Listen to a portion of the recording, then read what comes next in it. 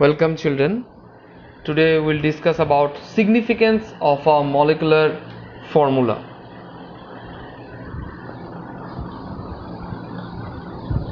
In the last video we have discussed about the language of chemistry the introduction the chemical reaction the reactant the products. Next we have discussed about elements of symbol. What is an element what is meant by the term symbol? Next we have discussed about valency.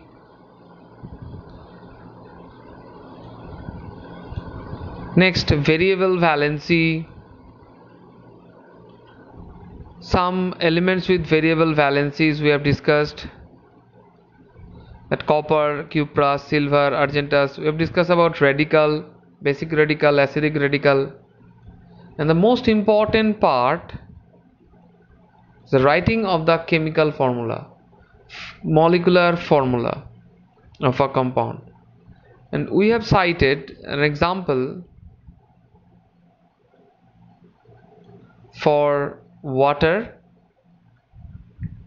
and for aluminum sulfate. But how to write. But today we'll start about significance of molecular formula molecular formula of a compound give us different informations. It represents one molecule of a compound.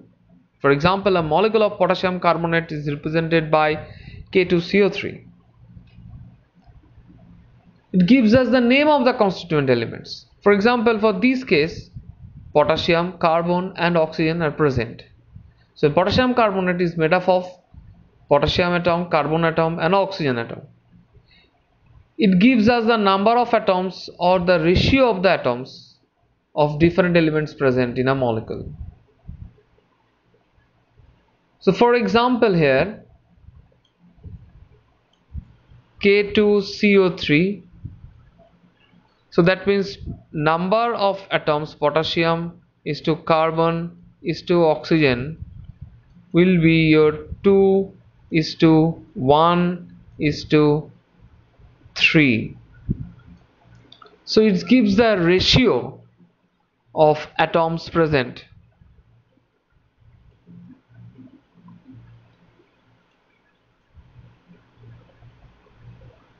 There are some examples of writing of the your chemical formula.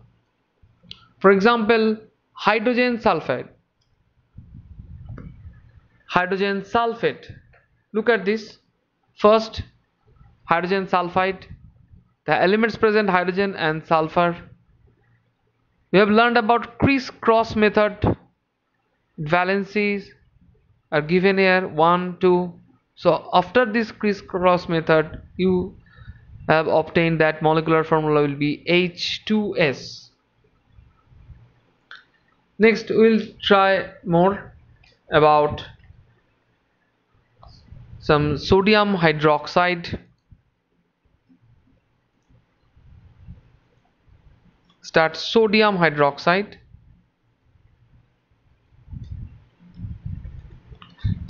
Sodium hydroxide.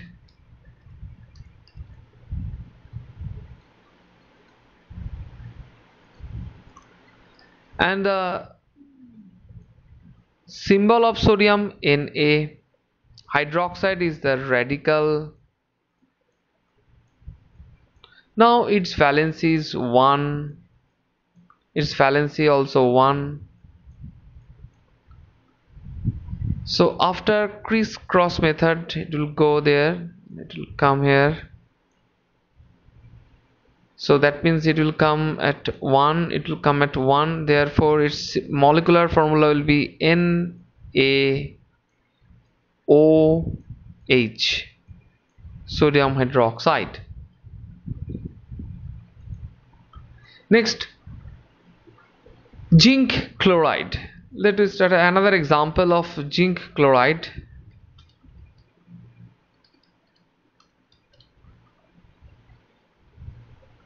Zinc chloride.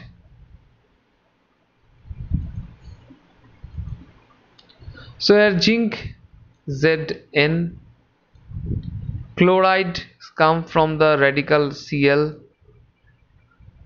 It will be plus 2 or you can omit that sign plus or minus.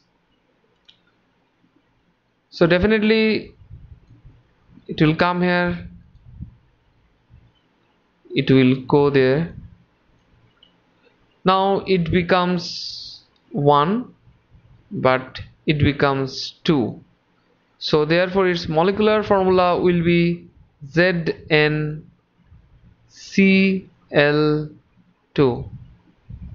let's take an another example.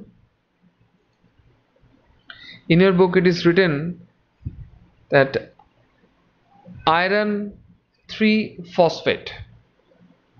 It is written like this way iron. They have given a roman symbol. You have learned about this stock notation 3 3 signifies that this is ferric. Iron 3 phosphate.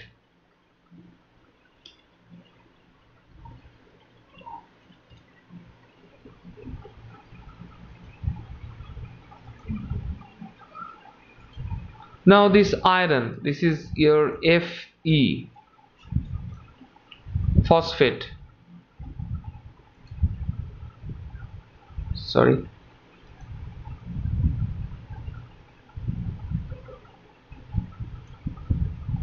Now this is your iron. You have to write Fe your plus 3 phosphate PO4 minus 3 so it will directly go PO4 will come at Fe.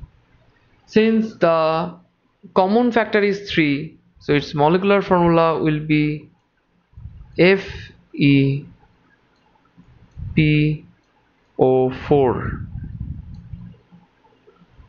but if it is calcium phosphate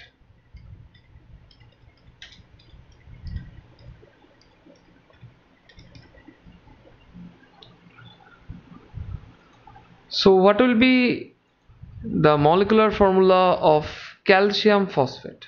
Calcium Ca phosphate PO4 now it will be minus 3 it will be your plus 2 so after crisscross of this method it will become Ca3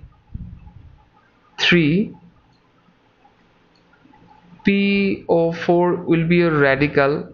And in the last video we have discussed about that you have to enclose this uh, radical the complex radical within a bracket. And you have to write this. So the ratio of calcium is to phosphorus is to oxygen will be equal to calcium is 3 phosphorus 2 and oxygen 8 so by writing the formula of the chemical compound you can easily obtain that ratio of that atoms. There are some several examples are given in our book calcium nitrate NO3 calcium carbonate. Look at this there is a common factor 2 and it will be cancelled. So it will become CaCO3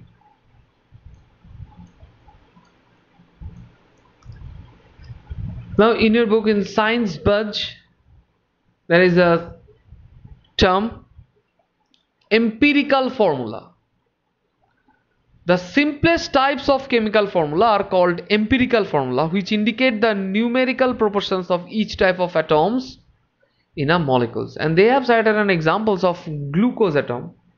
We'll try this glucose atom. Now simplest formula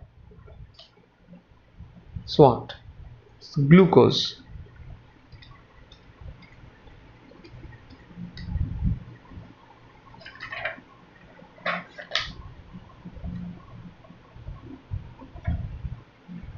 and the formula of this glucose is C6H12O6 so now carbon is to hydrogen is to oxygen will be equal to 6 is to 12 is to 6 so the common factor is 6 and in the simplest case be equal to 1 is to 2 is to 1 therefore simplest formula that means your empirical formula this empirical formula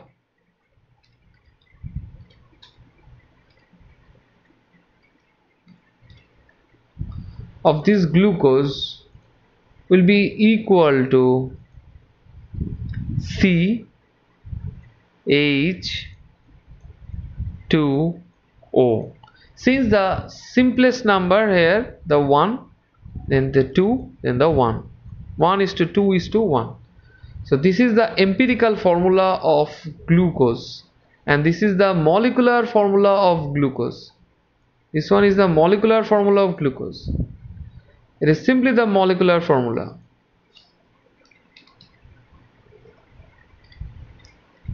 The molecular formula of the glucose. And this is the empirical formula of the glucose. So that means in your book it is cited that for example empirical formula of glucose is CH2O which simply indicates that there are twice as many of hydrogen as carbon and oxygen.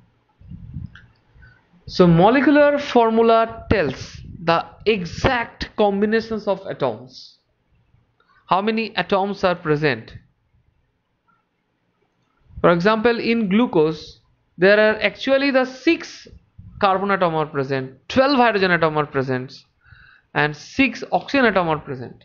But in empirical formula from empirical formula you will observe only the simplest ratio. From empirical formula 1 carbon 2 hydrogen and 1 oxygen.